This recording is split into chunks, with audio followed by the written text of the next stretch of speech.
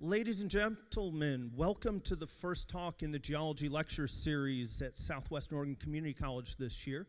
And we've got a great uh, lineup this evening and into the future. Should you have an electronic device, if you would be so kind as to turn it off at present, I would appreciate it. Also, if you didn't sign one of these great sign in sheets, uh, I'd appreciate if you'd put at least some information like name, where you're from, and date, date of birth, even just the year. Uh, the date of the birth for some of you. I do send uh, random uh, birthday cards. Just once in a while, I pull it out. A few of you might even be in that list. Actually, my wife usually probably ends up writing them. Uh, but you have this list, and it actually helps justify things. So, for instance, our third talk this year is Dr. Gavin Hayes from the USGS. Uh, all of you now go, because he works for the USGS, which is currently shut down. So I'm assuming that by mid-January that he'll be here. Uh, he's going to be talking about mitigating disasters in the 21st century that are associated with earthquakes. So something that is certainly timely globally and hopefully not in the not too uh, distant future locally. We'll hopefully push that off for, for quite some time. Also, you'll note that out on the tables there's some posters for the November talk by a good friend of mine, Pat Pringle, coming down from Centralia to talk about ghost forests. So all of those things are coming up in the future the College Foundation and the college uh, are significant sponsors of this event. Uh, the guys up in the booth that are live streaming and archiving this talk and uh, doing the tech for this evening so that things work, uh, certainly a huge help. Uh, we also have uh, all of you to thank because last year we raised over $1,500 from donations. If you're interested and can, love to have you help support. If you can't, it was always my goal to have this be a free community event. So uh, if you've got the wherewithal and would like to put a couple bucks in afterwards, that'll be there. Uh, you can also write a check to the SWOCC Foundation as well, 501c3 uh, nonprofit. Uh, be sure to put Geo Lecture Series in the tagline, though. That would be greatly appreciated. Also, this evening, sponsor wise, it really pleases me for the second year uh, to team up with Oregon Institute of Marine Biology. And so this fall, uh, we're linked up with their uh, fall public lecture. So this one is even more, I think, in tune with crossover between what we do in the community college and what they do out in Charleston, uh, both topic wise and also in a lot of ways background wise. Uh, Deb was very gracious in coming in this afternoon, uh, and we've basically had her bouncing back and forth between Charleston uh, at OIMB and the college a little bit the last uh, day and a half or two. And she came in this afternoon and talked to a group of college, uh, community college, as well as high school students. And it's nice to know that she started her career um, academically at a community college. And I think it also helped a lot of our students realize that as a junior, she really didn't have a plan of where exactly she was gonna gonna go, and at that point hadn't taken any geology, oceanography, or the like. Uh, went on, got her bachelor's degree. Uh, obviously, has continued. She did some academic work at UW, uh, and then also on the East Coast in Halifax, Nova Scotia, and has been on the staff faculty of the University of Washington for some time now. It's my sincere pleasure to introduce to you this evening Dr. Deborah Kelley.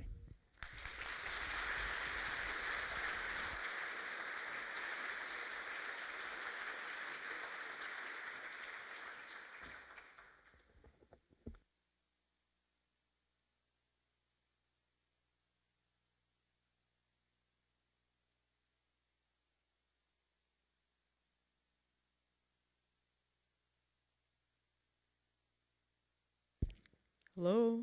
Great. Well, it's my distinct pleasure to be here today. I, I had a great visit yesterday and today. Um, it was really wonderful talking with the community, and the students much, much enjoyed it. Um, yeah, I did have a very diverse background, starting as a music major. And I don't think you can do this anymore, but I graduated as an undergrad with 300 credits, which might give you some indication of uh, a longer path than most people. Uh, so I've, uh, what I want to share with you today is um, some of the connections between underwater volcanism and life. Uh, most of the work we do now, actually, when I, will share with you a large project I'm involved in, but it's actually most of it, even though I'm at the UW, we do most of our studies now off uh, the Oregon coast at a methane seep site. and then uh, this large volcano, which I'll share with you today. Um, so, uh, when I first started out in geology uh, and went out on ships, uh, it was all geology. At that time, we didn't even know where the underwater mountains were. Um, it's really fundamentally changed since then, obviously, but now I don't think we ever go out on a cruise without geologists, chemists, engineers, um, biologists. So it's much more interdisciplinary program. And uh, what I want to share with you tonight is some of those linkages between underwater volcanism and the amazing uh, life forms that we have here. Um, I also wanted to mention that Craig Young, who's uh, at the biology station, I'll be a little bit embarrassed to show some of the biology slides because as a geologist, uh, it might be interesting interpretation, but he's a world expert in the vent communities and has done a lot of the really uh, amazing work in those sites. So if you can uh, correct me if I screw up. Um, so, um, you know, even most people don't know that, many people don't know that 70% of the world's volcanism occurs on the planet occurs underwater, and it's because it's out of our, our field of view. Um, and along where we work along the mid-ocean ridge spreading centers, which where the, the plates are spreading apart, I'll show you a cross section of that cartoon in a minute. Um, it's really the longest under mountain, underwater mountain chain uh, on the globe. And so it's a very prominent feature. Um, there's 70% of the world's ocean. The planet is covered by water, and, and this is a major, major building block. It really fundamentally, these mid-ocean ridge systems really fundamentally govern the, face of our planet. And yet, because it's underwater, it's hard to uh, get access to. We're just getting the right kind of technologies to gain insights in this, this new world um, we're starting to have a, a, new vision of how these systems work, um, and they're, they're incredible. So there's hundreds of thousands of, from satellite mapping mostly, uh, there's hundreds of thousands of underwater volcanoes. Uh, you've probably heard that the face of Mars is mapped in more detail than our own oceans, and that's, that's completely true. There's maybe less than one, certainly less than 10% of the mid-ocean ridges where I work that's been mapped in enough detail to do the kind of really detailed studies that we have. So it's one of the themes that I'll try and share with you is um, the oceans are really ripe for really profound, very profound discoveries. Um, and especially as young people, I was challenged growing up thinking, um, you know, how are discoveries ever going to be made there, there by people way brighter than I am, and yet what you'll see is that there, there's amazing opportunities now. So I really encourage students that um, there's a lot out there still to do. And part of that is we've only, because of mostly technology. Uh, uh, we've been hampered by technology. We're never in the right place at the right time to see these underwater volcanoes. So even though we've known about them for decades, to this date, today, there's only about two or three that have ever been actually witnessed, uh, except for places like Iceland or Hawaii. Um, we haven't had the vehicles in the right place to see these eruptions, and I'll, I'll show you some of that imagery.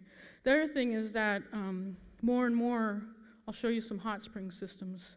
And those are metal sulfide deposits, basically. Um, and they're becoming more and more of interest for resources throughout the world as we get more. Uh, it's harder to get metals out of the ground. We're using up a lot of the resources. And so, countries like Japan, down in Papua New Guinea, they're actually looking at these underwater volcanoes where the boiling vents are. Turns out boiling increases the metals in systems. And so, they're actually starting to mine these underwater volcanoes. And so, there's a, a big push to have some of these volcanoes uh, as reserves because you can imagine what the mining does to these underwater communities. And then finally, um, the hot spring systems, and it's what Craig's an expert at. Um, they, they still amaze me. I, if I could come back, I might come back as a biologist because they are just unbelievably beautiful. And the, we know very little in some levels about the kind of animals, particularly in the microbial world, that live there. So today what I'll try and do tonight is just give you an overview of some of the, the beauty of this place and give you access to places you may not have seen before. So you've probably seen this, but um, if you stripped off all the ocean water, that red line that wraps around the globe like a seam on a baseball is where the youngest, hottest rocks are. So if you could dive down there you'd see underwater eruptions, not as violent usually as Hawaii or Iceland, but again, we're, we're never there. Um, but you can see that they're a fundamental part of the planet. And if you were lucky enough to go to Iceland and look at a spreading center where these tectonic plates are spreading apart, this is what you see is one side is the Eurasia plate and one, One side is uh, North America plate, and it's this rift zone uh, where the plates are physically spreading apart and where there's upwelling magma from beneath the seafloor. So this is just a, a cartoon here.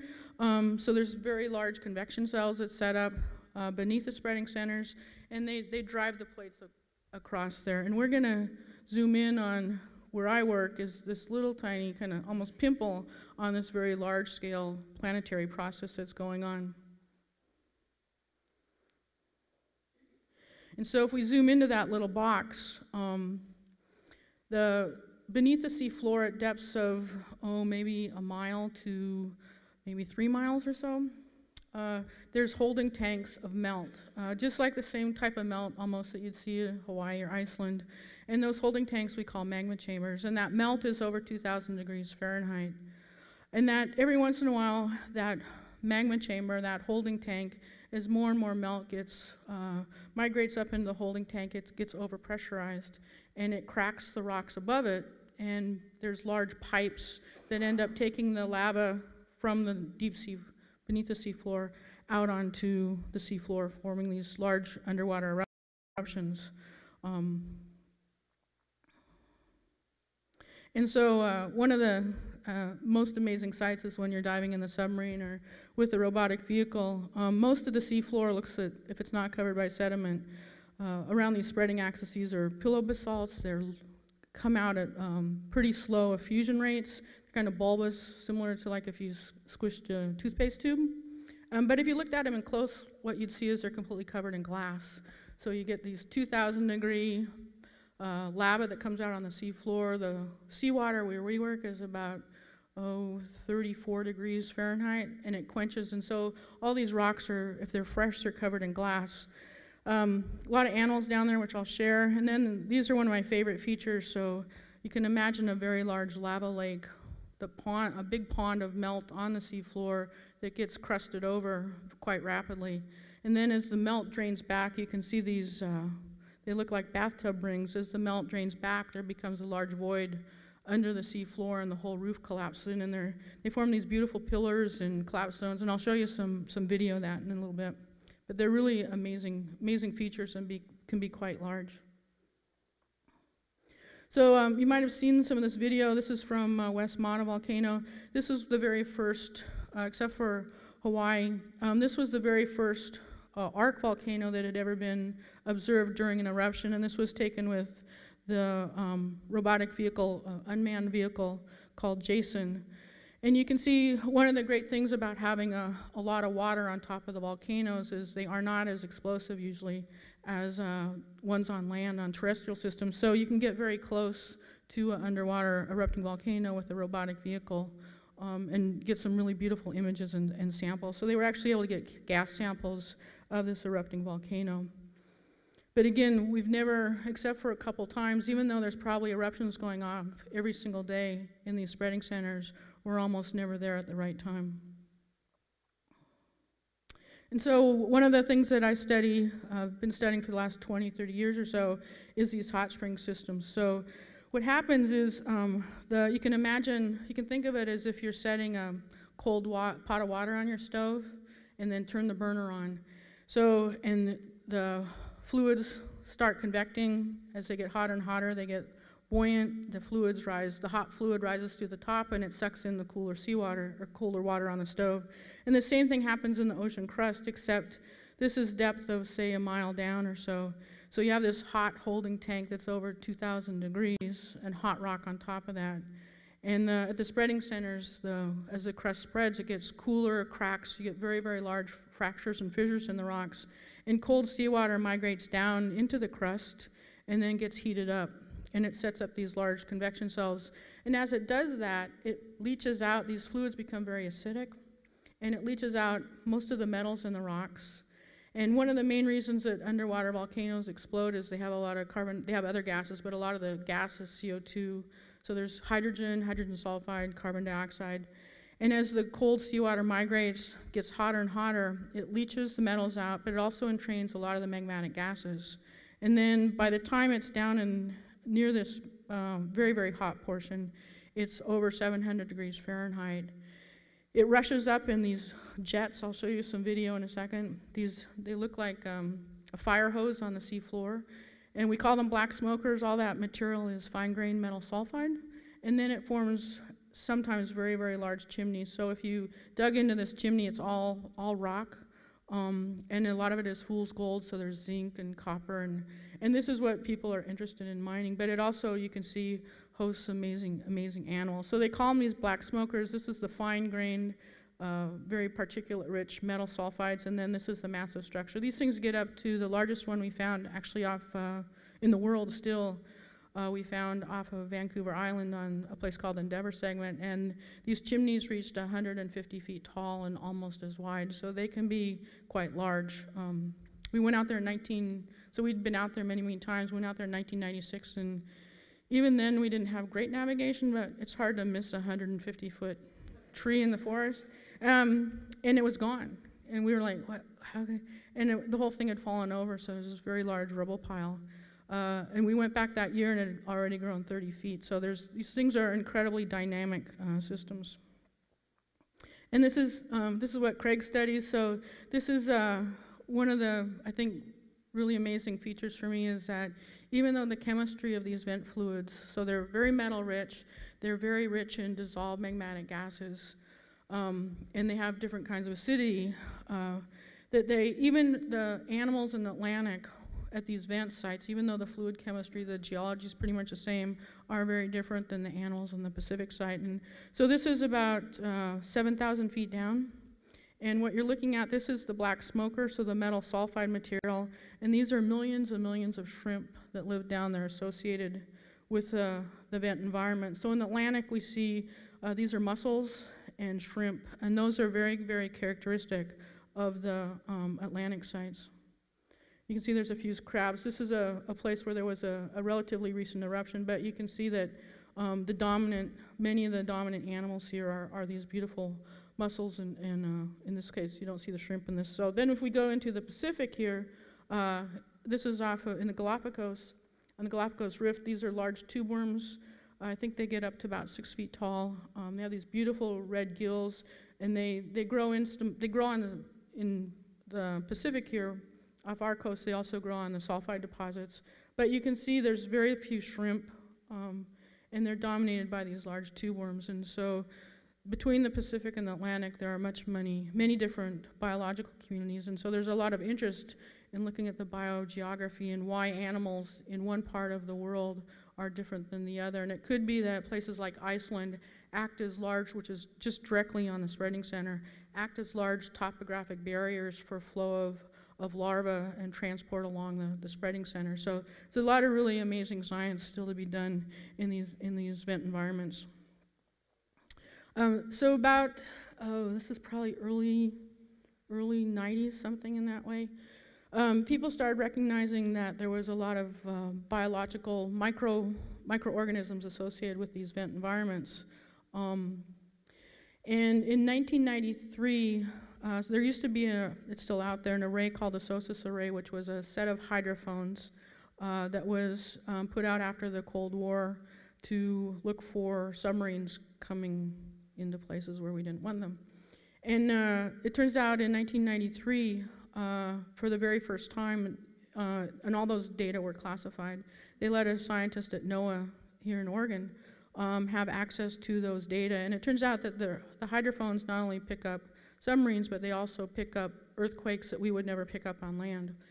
And I think it was about two weeks after they let um, this guy's name is Bob Dziak have access to those data uh, off our coast on the volcano that I'm going to take you to, just a little bit north of there. There were thousands and thousands of earthquakes, small, like one magnitude. And they, over three days, they migrated 50 kilometers along the axis in an almost straight line. And we were lucky enough to go out there about three months later. I'm going to back this up because I want to show you the video again. About three months later with a robotic vehicle. And um, this was a large hole in the seafloor right here, about this big.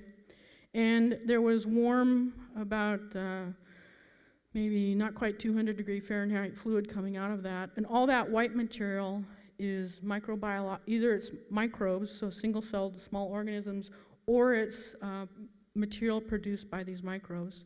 And so, um, what started happening around this time was this incredibly revolutionary idea that the these there's obviously no sunlight down there. So when they first found the vents, one of the major discoveries was that these microbes live in the absence of sunlight, and they basically can they thrive off of almost everything that would kill us. So carbon dioxide, hydrogen sulfide, uh, they can process mercury, they can process uh, uranium. Uh, there's a lot of interest in bioremediation. Um, but when they started, we started finding these volcanoes uh, and these things, we call them snowblowers, and I'll show you some better imagery now. Um, the hypothesis was that to some depth beneath the sea floor, where we have warm circulating fluids, and during an eruption, a lot of carbon dioxide, that there's these under subsea floor blooms of microorganisms. And this, this is a major process that happens during and after a volcanic eruption, which no one had ever seen. Um, they'd seen one event in 1991 at um, East Pacific Rise, uh, and then this is again at axial. So the idea was that within the subsurface, there's this potentially incredibly vast microbial community that we probably only have cultured maybe 1% that's there. And even looking at these microbes now, it's redefined what a species is. You can't use the normal techniques people look at to define these species. So the potential is that there's this unbelievably phenomenal, diverse, and large community of organisms that live in the subsurface and on the surface too, and we know almost nothing about them. And it may have a lot of implications for society. So uh, a friend of mine who's a mi microbiologist suggested that um, he indicated that when you bring these, we can take these pieces of sulfide chimneys and um, bring them up, crush them, put them in a test tube, and grow them at different pressures and temperatures and stress the organisms out. And some of these organisms produce different kind of antibodies when you stress them out. So some of the pharmaceutical companies are quite interested now in um, biomedical applications as our bodies get more and more uh, resistant to things like penicillin or tetracycline, that maybe some of these microbes from the deep can be used for, um, for biomedical pur uh, purposes. Uh, so that's one application. The other thing is these organisms, um, they actually precipitate out metal sulfides. And so the mining communities have used similar organisms to clean out, if they have slag heaps of the waste deposits, it's very hard to clean out some of those toxic metals, and these organisms actually help precipitate out the metal. So there's a lot of interest in societal applications to these things. Um, and then I mentioned before that um, they are, uh, if you go out, like you used to go out and stake out a mine, a lot of the countries now are staking out claim to the seafloor to stake it out for the microorganisms. So it's a, it's a pretty interesting and in the future, I think it's going to be a really fundamental place for new discoveries. So there's a lot of reasons. One is just excitement of looking at a new place no one's ever seen before. The other is, um, you know, just the whole discovery process. But then the potential that as we get better and better techniques, we may make some really important discoveries that are highly beneficial to society. Uh, so since 1979, when the first black smoker was found, um, there's over 300 of these venting sites now uh, around the world. And you'll notice that there's um, kind of a dearth of uh, discoveries down in, particularly in the, the southern sites. And if you went to the north, you'd see that also. And that's because this is a, it's a nasty place to work. Um, when it's blowing 60 or you guys would know when it's blowing 60 or 80, uh, you don't get a lot of work done on a boat. And so, and it also takes uh, usually, if you're depending on where you're working, it can take 10 days by a ship to get to those work sites. So it's a, it's certainly there are hydrothermal vents down there. We know there are, but it's um, a, a largely unexplored area. So the way that we um, work on the seafloor is fundamentally changed.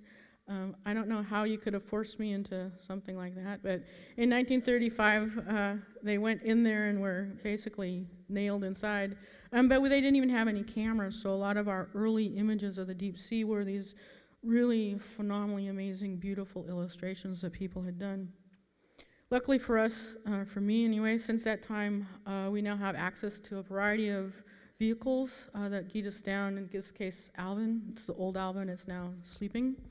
Um, but uh, so Alvin is really the workhorse for the scientific community in the U.S. Anyone can apply to write a grant uh, application to use a vehicle. Um, I'll show you what it looks like on the inside. Uh, so it goes down about 4,000 meters. Um, it has two front arms that are uh, manipulators. They're hydraulic. Force, some of them are force feedback, so you can uh, go down there, and the pilots can actually tell if they're gripping something too hard, to, especially important for animals because you don't want to squish them. Um, and it carries, uh, there's a front window, which is what the pilot looks out of. And then there's two side windows, one over there, one over there. The windows are about this big around. Um, they, you get in the sub usually at around 7:30, 8 in the morning. Uh, where we work off our coast at 7,000 feet, it's about an hour, hour and a half down.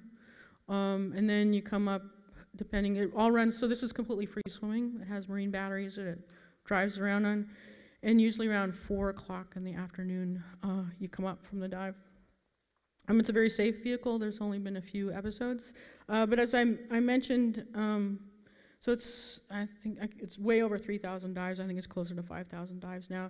Uh, this was, this vehicle was 30 years old, um, and so there was a large push uh, on order three or four years ago to build an, a brand new Alvin. That vehicle is just completed. It's a two-phase one, so it's up to 4,000 meters now, and then the next phase will take it to 6,000 meters. I was in Astoria for uh, quite a few weeks this summer, um, and it's going through its Navy. It's actually uh, certified by the Navy and is going through that safety certification right now.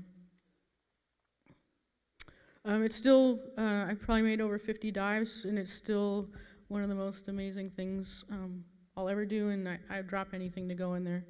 Um, so you get inside, uh, the windows, uh, as you go below about 300 feet, depending on where you are, uh, it's, there's no light penetration. They don't have any lights on on the vehicle because they want to conserve the battery power.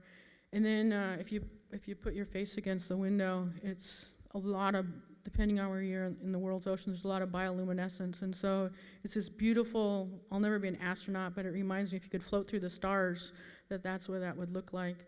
Then once you're about oh 300 feet off the sea floor, they turn on the lights, and us, I always still remember my very first dive because one, no one had ever been there before, but two, it was just this an amazingly beautiful landscape, and it's crystal clear. The water uh, way offshore, there's almost no particulates in the water. So you sometimes you forget that you're actually underwater um, because it's just so the water's so amazingly clear. One of the analogies um, I use. So this is every five years they on the old vehicle they take it apart and put it completely back together again, um, and do imaging and make sure that the vehicle is uh, doesn't have any cracks or anything, which is a, a good thing.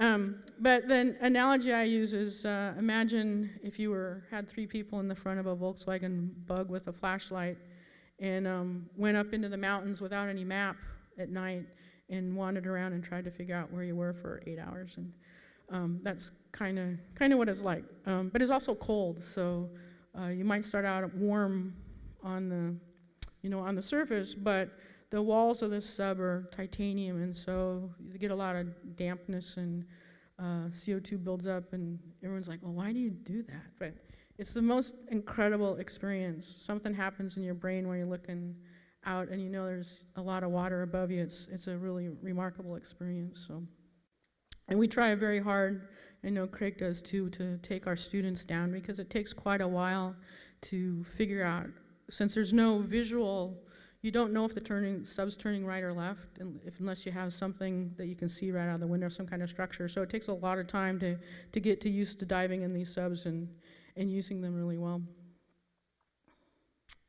Um, I didn't grow up uh, in an academic family at all. My dad finished eighth grade, my mom finished high school, and so even to this day, my relatives, when I tell them I'm going on a cruise, um, they think of it as a very different cruise. And so uh, we had a couple digital art students that um, came out with this, and they put up this time lapse. So these um, these working ships, they're a working class ship. They're completely empty when we get on board. A lot of our cruises are about a month long. Um, this is loading the robotic vehicle uh, Jason, which is a tethered vehicle. I'll show you some imagery of that. So basically, everything from your toothpaste to the robotic vehicle gets loaded, in this case, in about five days. Uh, this is at the UW here.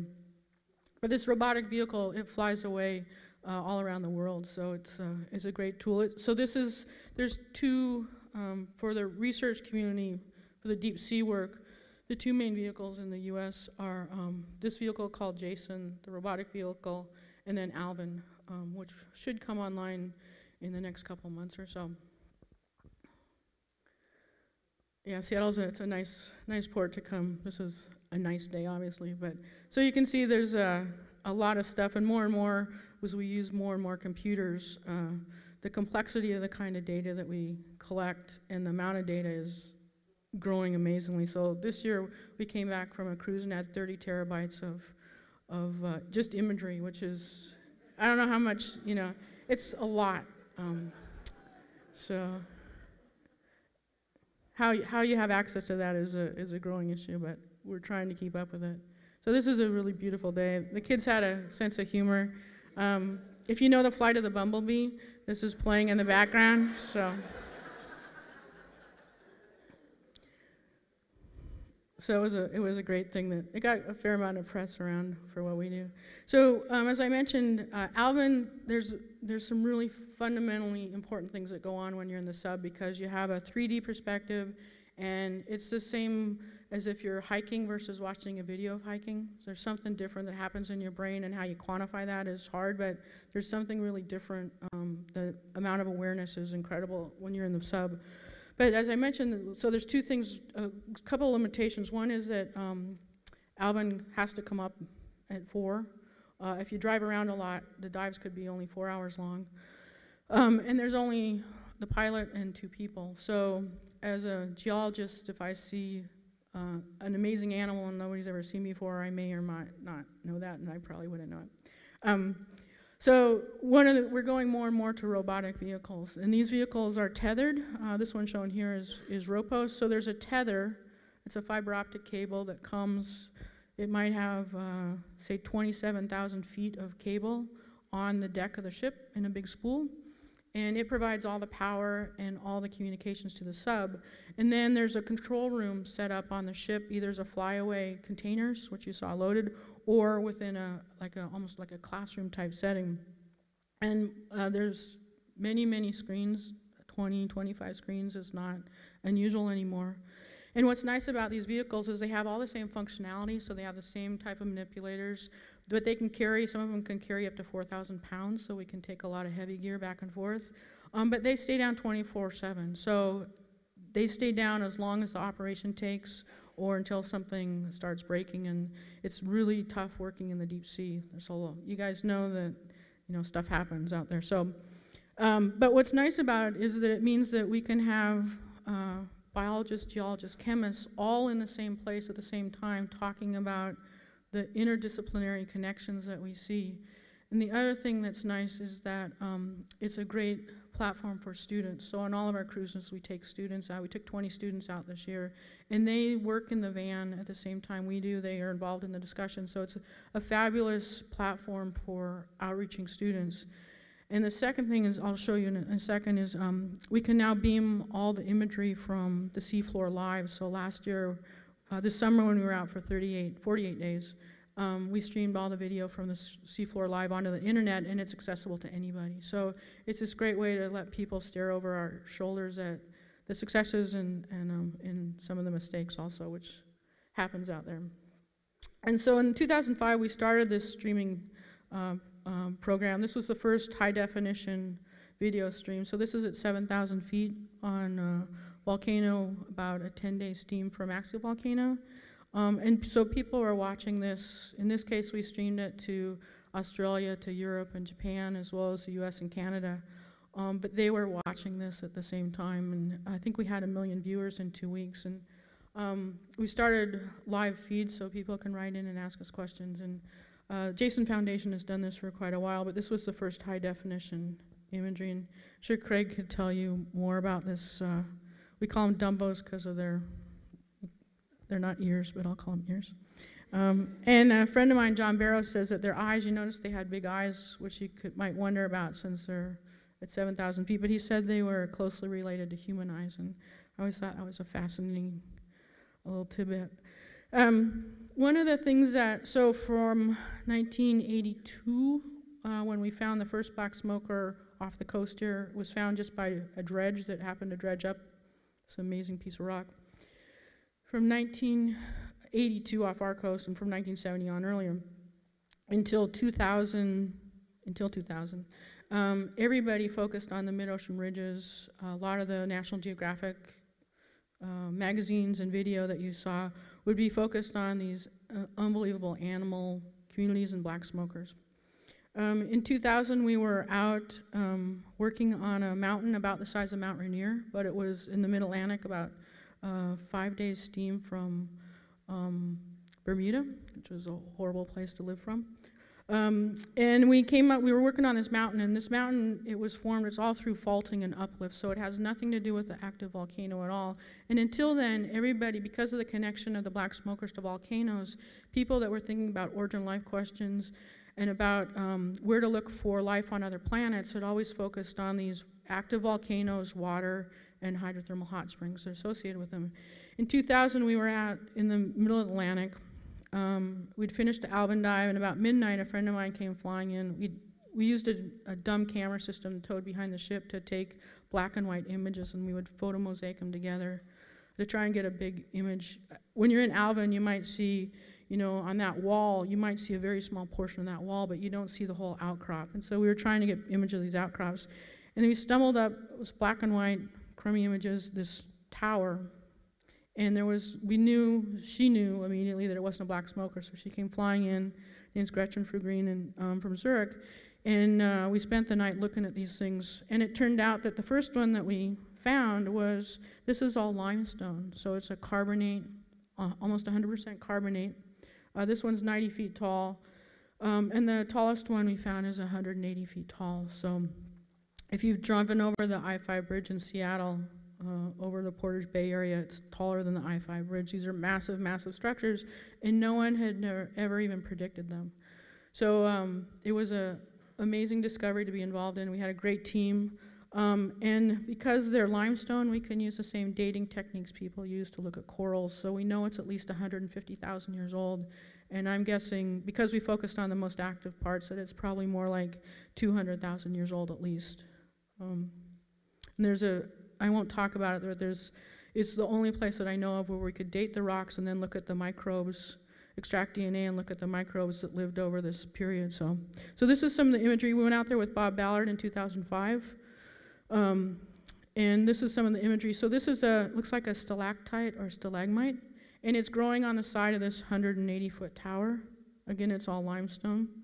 And you can see that um, compared to the black smokers, there is zero metals in these fluids. The pH of these fluids are not acidic, they're very, very basic. They have a pH of 11, which may not mean anything, but uh, liquid Drano is a pH of 12.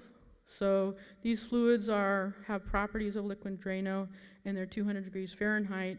And within this very piece, this flange here, these are like upside down waterfalls, um, the microbes in there were thriving under these conditions. Um, so really incredible organisms. Um, and there's no carbon dioxide. So the animals, the organisms around the vents, a lot of them use carbon dioxide. In this environment, the main uh, energy source is hydrogen and methane. So it's a whole different population of organisms. Um, and there's almost, if you use normal, um, the way most people used to use to look at DNA in these organisms, there was no genetic, no diversity at all. There was only one population which had almost never been seen before.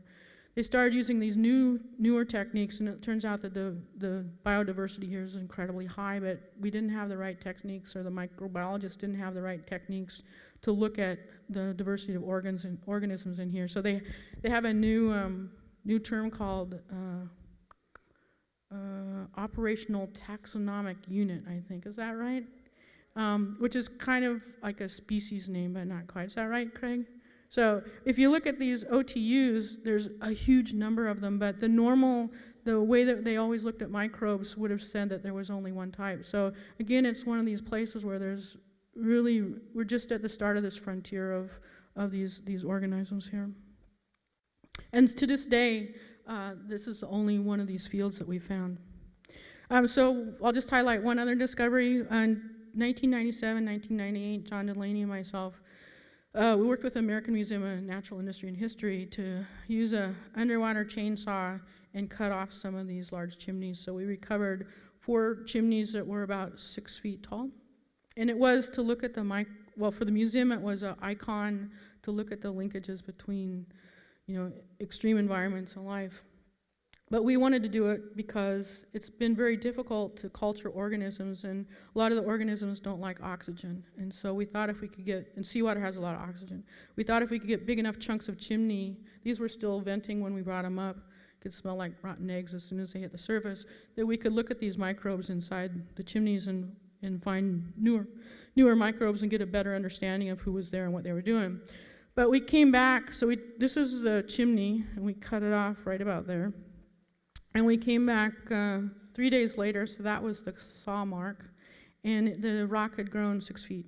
So there's not many places in the world where you can go and, and uh, see a rock grow. The second thing that happened was we, um, maybe a cascade volcano, I guess.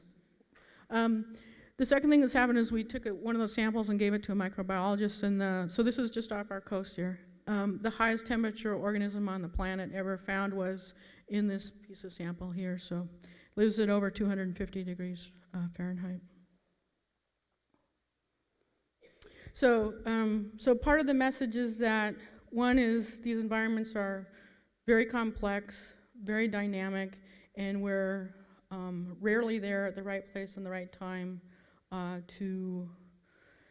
Uh, they change so much that we miss a lot of the big fluxes of temperature, uh, heat, biological material, all these things that evolve over a year. And if we're really lucky, we get to go out to the same place for maybe a month once a year. But usually there can be several, several years, if ever, that we get to go back. So John Delaney um, at um, UW uh, started, this is probably 15 years ago, um, started thinking about how we could have a 24-7 presence in the seafloor. And out of that grew the concept of putting uh, underwater, why does it keep doing that? Underwater cables on the seafloor with power and bandwidth. So in this case, off our coast of Pacific City, uh, Newport's right there, there's uh, 900 kilometers of cable now sitting on the seafloor. And the idea is each one of these is a big power station. It provides 8 kilowatts of power, so a lot of power. And one of the big limitations in that environment before is if everything's been run off of batteries. So even if you're using lithium batteries, having a, even a small piece of gear out there for one year, you got to go out every year. And a lot of the instruments, like a camera, you couldn't run continuously because you didn't have the power and you didn't have the capabilities to store all those data. So um, this is the largest project ever funded by the um, National Science Foundation for Oceanography. It's called, it came out of a special congressional um, uh, pot of money. They're called Major Research Equipment Construction Funds. And they are, the astronomers have been very good about getting these, these large pots of money. They're completely for construction and it's um, therefore changing, transforming the kind of science that a community can do. So jumping from something you've never been able to do before to making hopefully very, very important discoveries. Um, this is one part of it. It's a $700 million project out of the National Science Foundation. It's a five-year construction fund. Next year is our last year for construction. And this is one part of it, um, which is the cabled part of it. So this is the base of the subduction zone, so that's about 3,000 meters right there. So 9,000 feet water depth. This is the Juan de Fuca plate. This is the volcanoes, uh, the spreading center, spreading across here. Here's the largest volcano. So these cables, they've been installed, um, and at each one of these areas we'll have many tens of sensors on the sea floor, all connected to cables which means that we get all the data in real time. There's not less than a second delay from something 350 miles off our shore, inc including HD imagery, that can be beamed right in here within a second. So it's a pretty remarkable uh, project. And the other thing is there's, there's many, many, many different kinds of sensors. Uh, at these sites right here with the circles, we have uh, 3,000, so 9,000 foot tall moorings that have wire crawlers on them that are instrumented, and they'll be migrating up and down through the water column, again providing real-time data. Um, some of the reason that people around here might care, um, you may or may not know that the signal to noise ratio for uh, ocean acidification off our coast is very, very high. Uh, Dick Feely, who I think you might be trying to get uh, to come speak, is um, he did some modeling that suggested that the level of carbon dioxide the saturation level that we would see in 50 years, they saw a few years ago.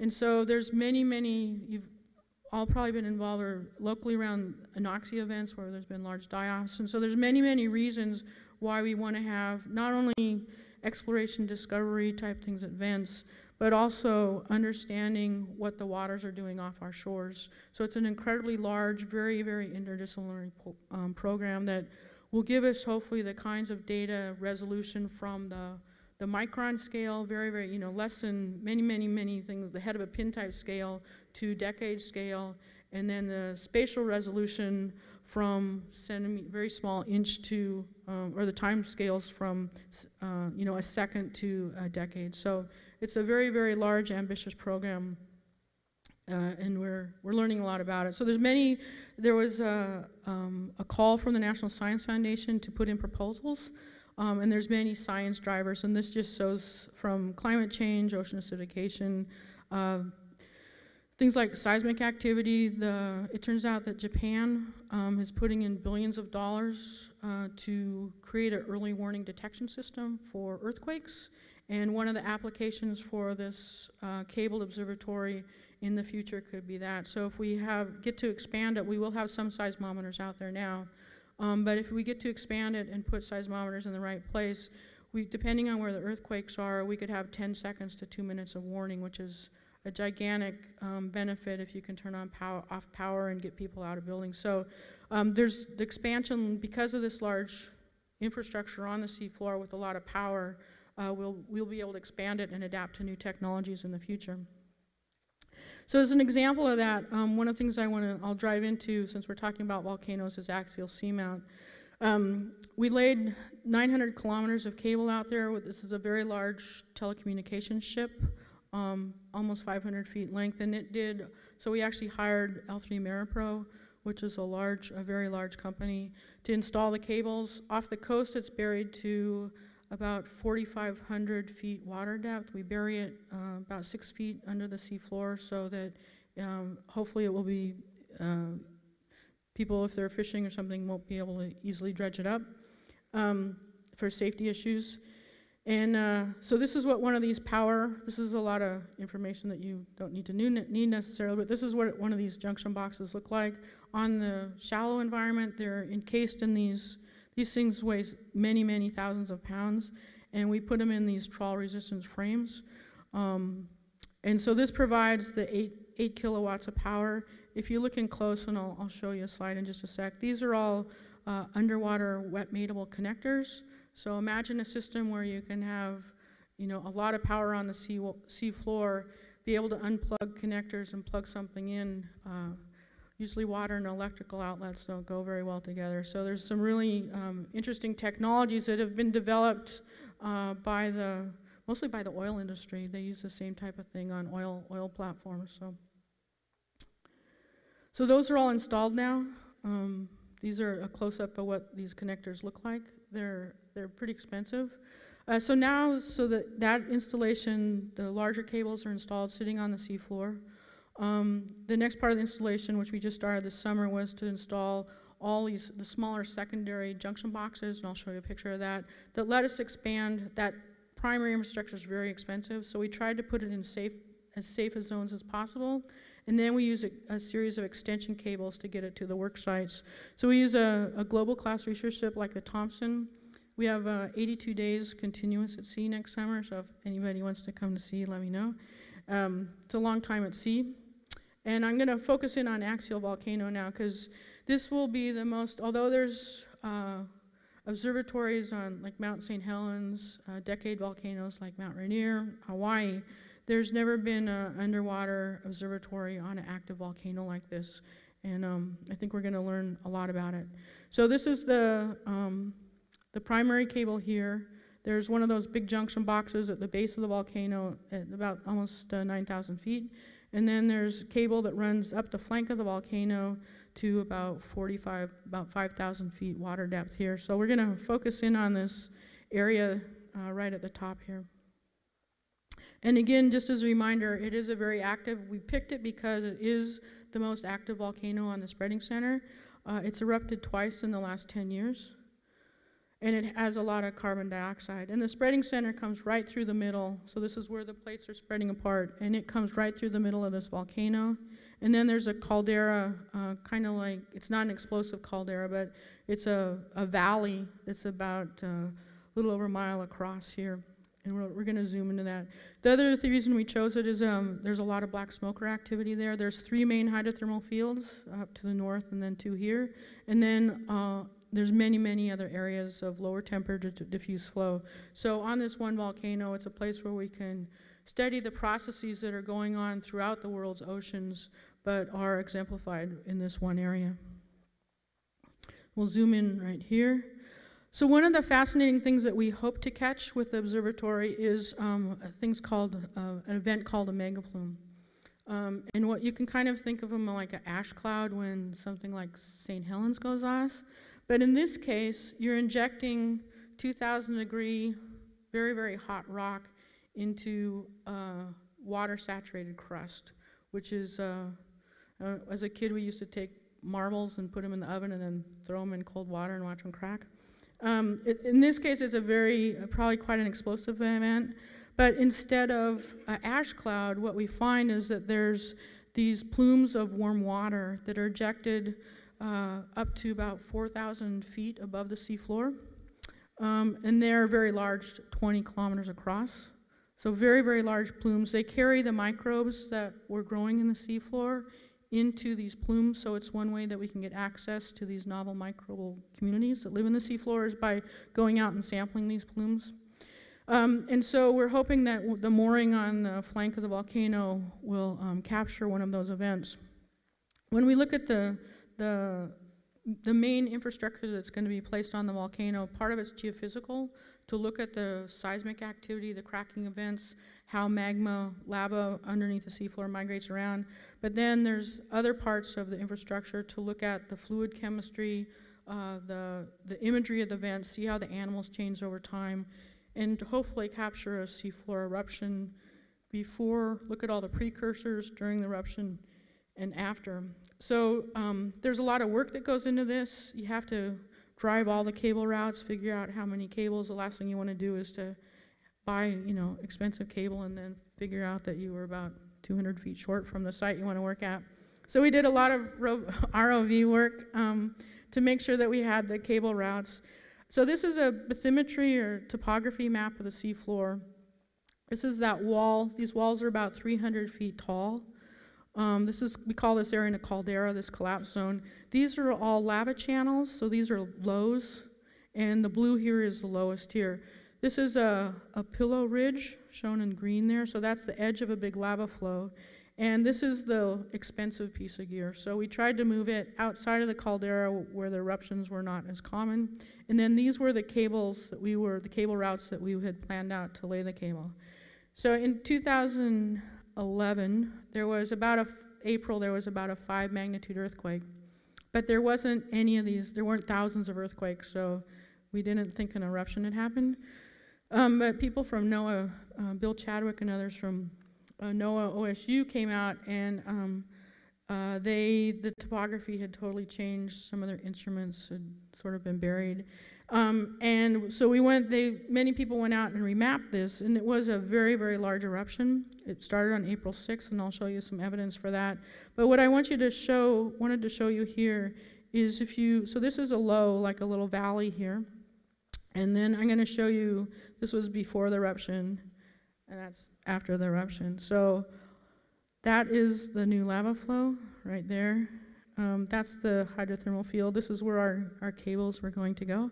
Um, we're kind of happy now because it gives us some high ground to lay the cables on, and it might be around 10 years or so before it erupts, maybe. Um, but it was, it was a spectacular eruption, and, and I'll show you some of the imagery uh, from that. So this is an outline of the lava flow. In some places, it was uh, 60 feet thick. Uh, in the toes, it was near the edges, it was uh, 10 meters, 10 to so 30, 30 to 60 feet thick. In one place, they thought they found a flow that was over 100 feet thick to the south. So this was a quite a large eruption. Uh, so we're going to zoom in on ashes just for a second here. Oh, this is uh, So this was one of Bill Chadwick's experiments. Um, beneath, this is, you can see it's kind of glassy here. It is glassy. Beneath that is one of his instruments. So uh, it was still actually working though, which was pretty interesting. Um, and some of the things that happen, and the reason we're going to put pressure sensors and tilt meters out there. When a, you see the same thing on terrestrial volcanoes. Um, when a volcano's uh, getting ready to explode, because you're pushing more and more melt into the inside of the core of the volcano, the roof of the volcano will rise and the sides will tilt backwards, right? And uh, so we're hoping that we'll have, we've never made tilt measure, measurements, but Bill's made pressure measurements or, or the depth change. And so this was um, before the eruption, and this was the day of the eruption, shortly after, and now it's rebuilding again. And so what happened was, as the eruption happened, you released all that, all that melt that was in the seafloor, ran out onto the seafloor, and the caldera collapsed uh, about a meter or so. And uh, so these are very characteristic events, inflation events. You'll see a lot of inflation before an eruption, then the seafloor will collapse. And now it's actually ramping up quite steeply again. Uh, we, he just recovered some instruments this summer. So, so we're hoping to create, to be able to connect these inflation deflation events with the earthquakes, with the CO2 that's coming out of the seafloor, and eventually be able to predict uh, when, a, when an eruption might occur. Um, so, uh, let me see. Ah, so I want to give you a little tour because I think these things, we might need to turn the lights down just a little, but the seafloor imagery. Um, so, this is what one of these lava lakes looks like. Uh, it's now drained back, these big columns. You can see the drain back marks here. If you could touch that, it's all glass, glassy material and it forms these big uh, columns. There's places where it traps a lot of seawater underneath the flow when it first comes out, and that seawater gets hot and uh, pushes itself up through the flow and create cools, chills the margins of the flow. So you get these beautiful columns. Looks kind of like a Roman Roman ruin or something like that.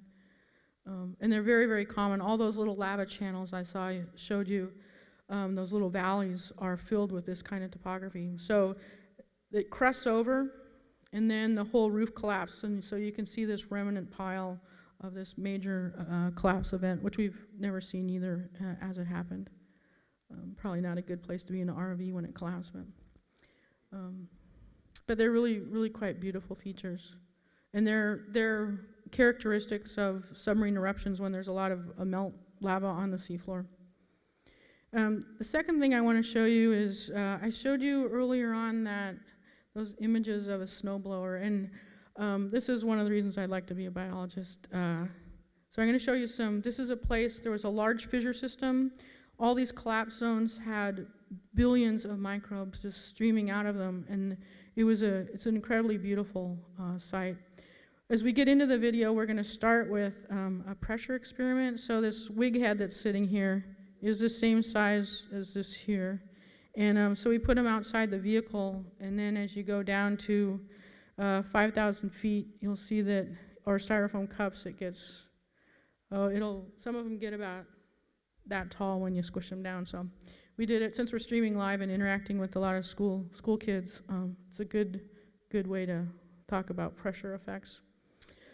Um, and good reason to be inside of a sub than out. Uh, so these are, this was a collapse zone, um, and all this white material is uh, biologically produced, uh, either the microbes themselves or this, it's almost like a, a, snotty type material that they produce.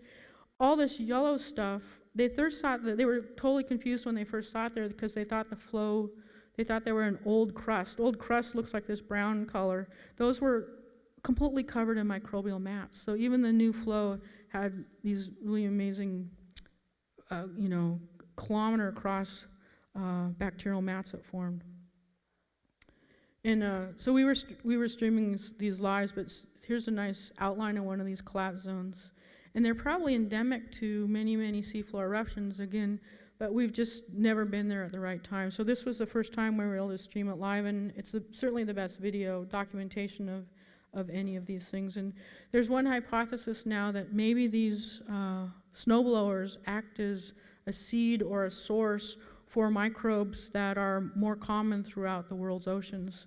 Um, if you remember how many volcanoes there are, if you get these going off in very many places, they might act as a source. Turns out that many of these organisms, because there's a lot of carbon dioxide in the vent fluids, uh, the warm fluids that are coming up circulating, the organisms use the carbon dioxide and then they produce methane. And so the methane signature in these areas is very, very high compared to the background water.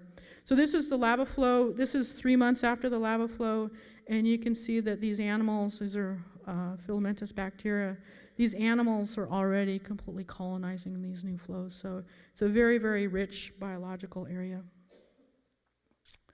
Uh, just gonna, I have about, I think maybe 10 minutes left. Uh, we're gonna zoom into the Ashes vent field. Uh, so we mapped this, um, I mentioned earlier that maybe 1% of the world's spreading centers have been mapped at the resolution we need. So we spent a lot of time with robotic vehicles and autonomous vehicles mapping these areas. So we have meter, less than one meter scale resolution, which means that um, we could, if there were, you know, two or three of us standing together, we would be able to map that. Before, with a normal ship operation, you could sort of tell this building was here, but that's the kind of resolution that you have here. So each one of these is a black smoker. They're about eight feet tall. Um, and if you zoom in on them, this is a down-looking mosaic. Um, this is what these things look like. So we've also photo mosaicked all the chimneys. This is about, this whole field is about the size of a football field, and we took about 25,000 images and then mosaicked them together. Uh, this is, uh, so that chimney, that chimney right there is down looking at it, and this is the same chimney. Then there's another one here. In every place you see white. It's one of the ways you can see fluid, tell fluids coming out of the seafloor, even if you can't see it. Is uh, these are all microbial mats that are colonizing the cracks in the in the lava flow. So this is the infrastructure that we're um, putting down. Uh, it'll be finished next year. It's probably too small a print to read, but we'll have high definition cameras, we'll have seismometers. Uh, for those of you who might work in labs, we have a in situ mass spectrometer, which actually will be able to measure the gases coming out of the seafloor in situ. We have um, samplers that suck in the hydrothermal fluid and actually filter out the DNA, and uh, also have uh, samples co-registered that take fluids and we can be able to look at the fluid chemistry temperature and changes in microbial communities over time. So it's a, a quite a large experiment. Um, and it'll be all deployed by the end of next uh, summer. So we use a special robot. This one's called ROPOS. Uh, it's operated by Canada. Um, and the reason it's special is it, uh, it can lay up to, the longest cable we laid was about 15,000 15, feet of cable in one, one lay. Uh, and these, are, these can be quite heavy, so the vehicle has a through hull lift capability and can lift about 4,000 pounds, which is a, a pretty good load. Uh, we streamed all the seafloor work that we were doing live, and we'll be doing it again next summer, so anybody can get on the internet and watch, watch whatever we do. Uh, laying cables not too exciting because you're flying through the water column, but uh, when you're on the seafloor, so these are all some of the cables that uh, you can see they're quite large spools. Uh, some of them weigh over 5,000 pounds, so we have to set them on the seafloor, then go pick them up with the robotic vehicle. Um, and so this is, uh, I like this shot. This was, the, it was a very successful cruise. This was the before picture, and we like, we like to see this. So, um, this is what one of these smaller junction boxes look like. So we, we can plug up to eight sensors into one junction box, but they can also be daisy chained, so you can add another cable and have continuous junction boxes. So it's very expandable for the future. Um, we did put down a high definition camera, uh, and I was going to show you that imagery that we streamed live, but it blew up my presentation, so I'll show you some other imagery. But um, this is exactly what you'd be able to see. So you could log on anytime, uh, and you know, from 350 miles offshore, people all around the world can look at these animals. These are limpets shown here. These are um, palmworms. Uh, and, um, you know, really, we don't know how these uh, communities change over after an eruption event, if the uh, chemistry changes a lot, because we've never had enough time series in most places, uh, except for like the Gulf or EPR, East Pacific Rise, to, to know a lot about these animals and how they interact with each other. So great opportunities. Um, one of the, my favorite things is um, uh, we take students out with us anywhere from freshmen Uh, they have to be 18, so once in a while we'll take high school kids, depending on where they are. They have to be 18 or older, um, and anywhere from we've had music and art majors to geology, oceanography majors, and they they work side by side with us and are a, a really great attribution to the team. They um, so we enjoy that. Uh, these are some of the seismometers. Uh, we put them out there. We did a five-hour test where we powered up the whole system, and we measured uh, 15 earthquakes in five hours in the volcano. So it's a, it's not like we won't be seeing events happen there. And that's what's on the seafloor right now, everything in blue. Um, so we still have most of the sensors put down in some of the junction boxes, but we're getting there. So by the end of next summer, uh, everything, the entire observatory will be installed and, um, and powered up. And so the, the hope is that, if this works, um, that you can imagine a scenario where we start seeing earthquakes. This is a temperature record here. We start seeing earthquakes, it's indicating that an eruption's happening. And um, we can turn on the video. This is actual temperature data from when that eruption happened in one of the vents. Uh, this is about 700 degrees, and uh, that was in April. And by August, it had gone down to about, uh, oh, maybe uh, not quite 300 degrees, so a huge temperature drop, right? And so we'll be able to look at all these complex relationships in real time. And this just is an example of one of these moorings. It's a two, one, we have a two-legged mooring with a platform about 600 feet beneath the water. It has a winch profiler that goes up and down with instruments, and then we have another, this is a wire crawler that will go from 9,000 feet to almost the surface. So the, the final thing I think is, um, and where I want to put a lot of energy now is to the education outreach component and giving people access to data. So you can imagine having an event wall. Um, be nice to have one down in the new uh, museum outreach center that uh, the biological lab's building, uh, where you could see live earthquakes off our coast going off. And uh, if there's enough of them, it might uh, tell you that there's an earthquake going on, an eruption. And so you can imagine in classrooms at the college here, since all the data is publicly available, there's nothing restricted, that students could be in a classroom and looking at the same kind of thing that we're looking at in, in real time.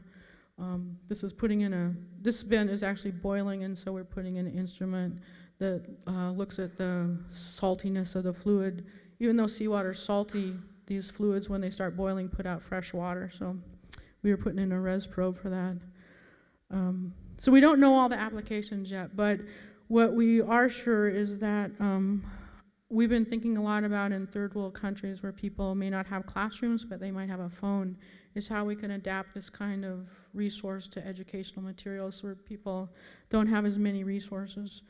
Um, and there's also lots of confluence of new technology coming online. So robotics in the medical industry is really large right now. Um, you've probably seen in the news that people get operated on without doctors. It's more like a machine type operation, which is still scary to me. But um, and then ecogenomics, how we measure microbes in the in the ocean, um, ocean modeling. The more data that we can bring in into these complex models, we can change the models to adjust to the data that are real in real time and integrate those two data sets and the hope is to have better predictions of say when big storms what they're going to do of these anoxia events, things like that. So uh, a lot of uh, really great opportunities, I think, in the next few years. And I think uh, this is just our website. So this was last year's website, but if you ever do a search on Visions 14 for next year, uh, you're welcome to join us and uh, interact with us. So thank you very much.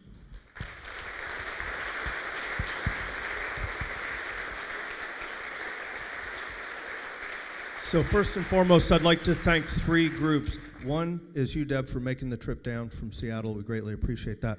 Uh, the folks at OIMB for co-sponsoring this, and definitely all of you for coming out. Hopefully you circle uh, November 9th. It's a Saturday, ghost forests and all kinds of cool stuff. We'll take a couple questions, and I'm sure that Deb would be willing to stick around. Sure.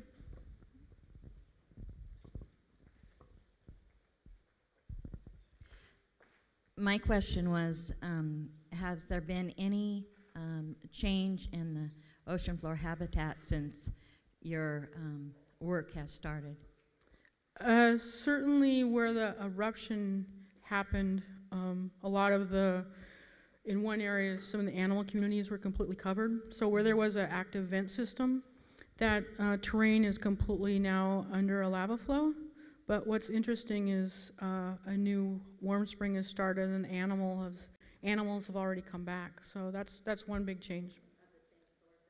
Yes, yep, yeah. They, they undergo a, um, uh, you can kind of think of it as a garden where, you know, I usually get the weeds, but um, where the, depending on the time of year, the different plants will come in over a year period and evolve over time, like a, a new growth, a new forest is starting to old growth. And the same type of thing happens on the seafloor where there'll be a progression of animals that will come in first that can tolerate, in some cases, more toxic conditions.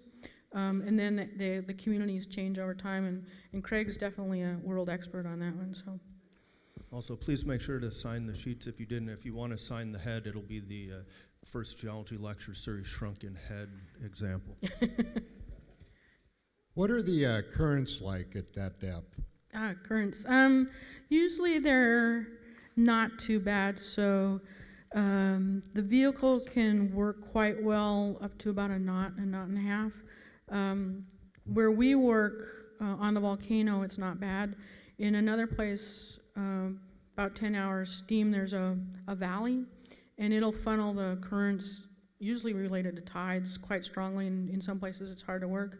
Um, but um, off of Newport, where one of our where there's methane gas coming out of the seafloor, there we can get some pretty strong currents once in a while, and it's uh, you have to kind of pick your time of what you're doing.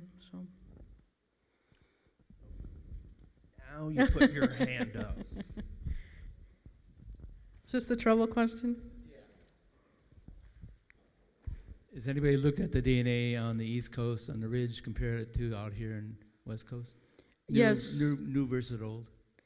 Uh, Craig, I think it's my understanding is that the animal it's a function in part of the age of the ocean. Is that true, Craig? Or oh, what the the differences in DNA between the animals in the Pacific versus the Atlantic?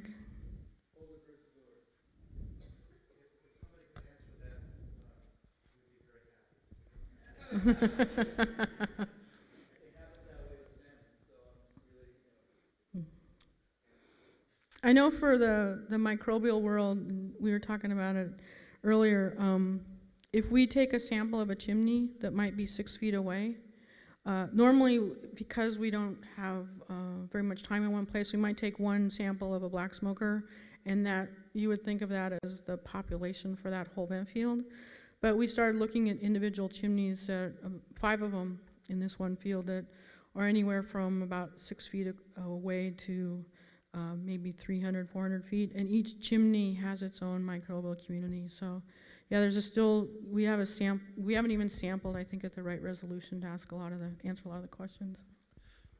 And I'm sure that Deb would be glad to continue to answer questions. I'm going to go throw the head out into the lobby. If you would like to sign the soon-to-be shrunken head that will go with Deb uh, in the near future, uh, you're welcome to. Thank you all for coming out tonight. Look Thanks forward for having hopefully me. seeing you in November.